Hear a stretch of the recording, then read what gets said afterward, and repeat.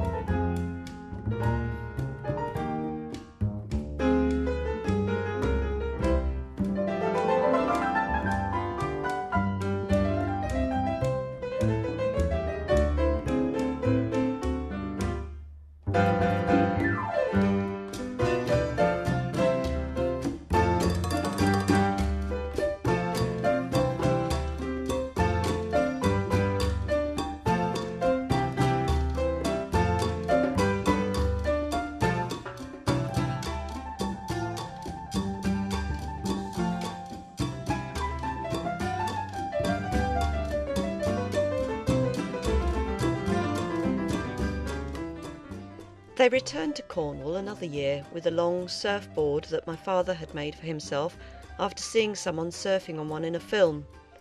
In those days, these long boards were not available in England. He became a surfing pioneer. Having made himself a waterproof box for his cine camera, he strapped it to the board and filmed it skimming through the water.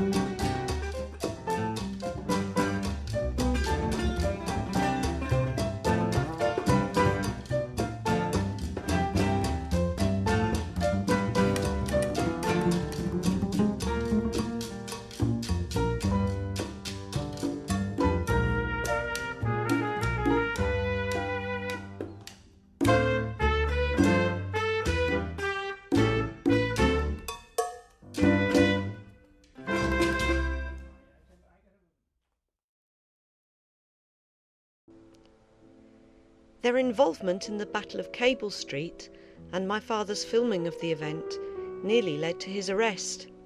I still wonder how he managed to get some of these shots, appearing in places to be in front of the police cordon holding back the crowd.